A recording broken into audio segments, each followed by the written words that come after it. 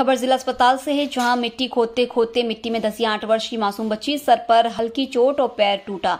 जानकारी के अनुसार बता दें कि दीपा पुत्री, शिशुपाल आदिवासी उम्र आठ वर्ष, निवासी लुकवासा घर के पास और बच्चों के साथ खेलने गई बच्ची, जो साथ ही बच्चों के साथ मिट्टी खोदते खोदते ऊपर से मिट्टी गिरी, जिसमें वह पूरी तरह से मिट्टी में धस गई, जिसकी सूचना साथ में खेल रहे बच्चों द्वारा घर पर मिली उसके बाद परिजन कोलारस लेकर आए लेकिन कोलारस से शिवपुरी के लिए रेफर कर दिया गया। वहीं आपको बता दें कि मिट्टी में धसने पर आठ वर्ष की मासूम बच्ची सर में चोट और वहीं आपको बता दें कि मिट्टी में धसने पर आठ वर्ष की मासूम बच्ची को सर में चोट और एक पैर टूट गया।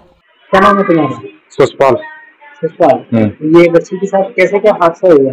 सर मिट्टी खोदने गई तो मिट्टी टूट गई ऊपर मिट्टी खोदने की टूट गई? हाँ। अच्छा, आपको पता कैसे चला? बच्चे द्वारा से बच्चे द्वारा। हाँ उसके साथ और भी बच्चे थे। कितने बजे की घटना है ये सर दो ढाई बजे की घटना है अच्छा कहाँ रहते हो आप?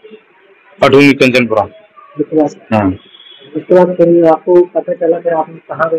लोकवासा कलरस लाया था। किसके कॉलेज की शिवपुरी।